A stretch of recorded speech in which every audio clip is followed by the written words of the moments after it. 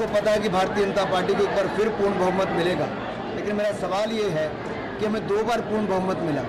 हमने तो बाबा साहब के जो संविधान है, उसका मान सम्मान मोदी जी ने बढ़ाया। शीश झुकाकर कहा, सबका साथ, सबका विकास करूँगा। संविधान दिवस मोदी जी ने मनाया। पंचतीर्थ बाबा साहब अंबेडकर की दीक्षा भूमि शिक्षा भूमि जन्मभूमि चैत्य भूमि और महापरिनिर्वाण भूमि में बनाया। अब राष्ट्रीय अवकाश भी उनके जन्मदिवस पर घोषित किया। मान सम्मान भारतीय जनता पार्टी ने बाबा साहब अंबेडकर को दिया।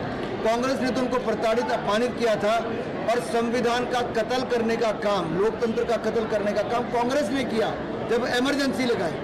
संविधान में बासठ बार संशोधन कांग्रेस ने किया। राहुल गांधी जी के पिता राजीव गांधी जी ने किया। उनकी दादी इंदिरा गांधी जी ने किया। उनके दादी के पिता पंडित नेहरू जी ने किया। इनके परिवार और पार्टी ने संविधान में संशोधन भी किया और अपमानित, प्रताड़ित और बाबा साहब अंबेडकर को चुनाव हराने का